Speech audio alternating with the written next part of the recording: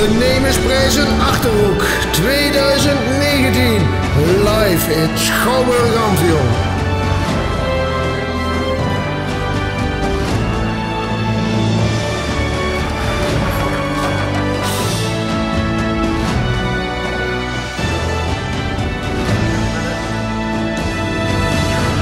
De winnaar is...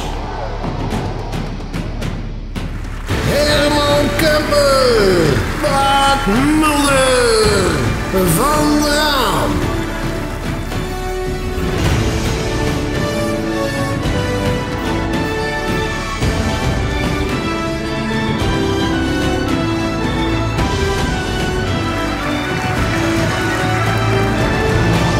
Ondernemersprijzen Achterhoek 2019.